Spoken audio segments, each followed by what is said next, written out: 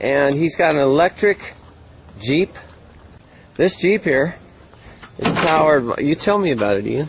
Well, this is a DC drive system. It's uh, 160 volts uh, nominal, uh, based on uh, 8 volt golf car batteries. We have uh, 12 of them up in the front. There's eight more in the back where the fuel tank used to be. Uh, the motor is underneath the battery pack. Yeah, we've got a lot of splash protection under the motor because uh, uh, most DC motors are uh, open frame, so they can get water inside them. So since this is an off-road vehicle, we uh, put a lot of splash protection on it. What you're looking at there is the front end of the motor with a forced air cooling inlet on it. Uh, so we can run high averages at low speeds without uh, overheating the motor. Um, we also run the factory alternator and the power steering pump off the uh, belt drive. Could have air conditioning. We didn't do it with this one because we. Uh, uh, the idea was to outfit these for the uh, uh, Jeep tour companies in Sedona. Okay, first of all, No gas tank. Here's, here's, here's your filler right there. all right. That's one of All our right. little trademarks. Okay, now that we're back here, tell me what's going on. Well, uh, to get more range out of the vehicle, um, what we're doing is developing uh, what we would call a hybrid trailer. Basically, we have a, a generator here that's uh, 17 and a half kilowatts. You're, doctor, you're a hybrid between your fuel cell and gas. Yeah. Those Basically What we're looking at is a hybrid hybrid. Yeah, at idle, it's running at about 88% of it is hydrogen, and uh, at high speed, uh, about 91% of the fuel is hydrogen. We have a control system here that we designed ourselves. This shows each one of the uh, the uh, units here. This this is the idle unit, and this is the uh, the high end unit.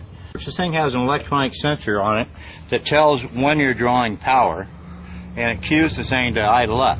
Well, from that signal, we have a, a little circuit board in here that recognizes that signal and turns the second generator on.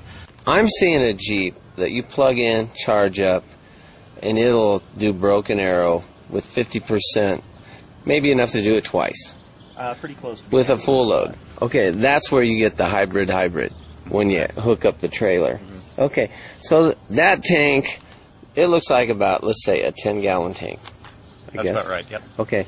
When you kick in the hydrogen cells and you use that generator just to keep the batteries topped off, how much range do you think you have out of that tank and, and what? a threefold increase over how it would run just as a, a series hybrid by adding Doc's hydrogen uh, system, around 120 miles per gallon. So out of a 10 gallon tank, we're, what we're hoping for is about a 1,200 mile range.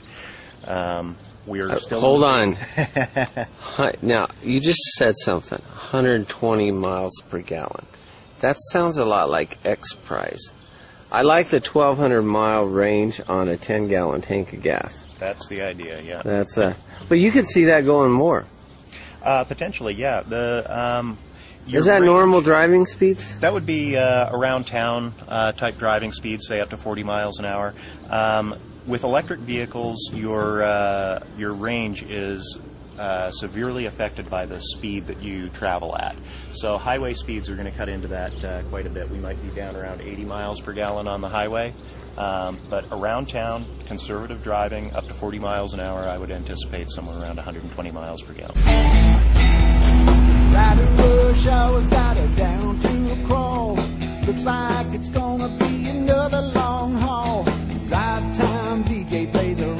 Rocking song and a powerful feeling starts coming on. Steering with a needle commando hand, she turns a knob to ten and starts jamming with the band.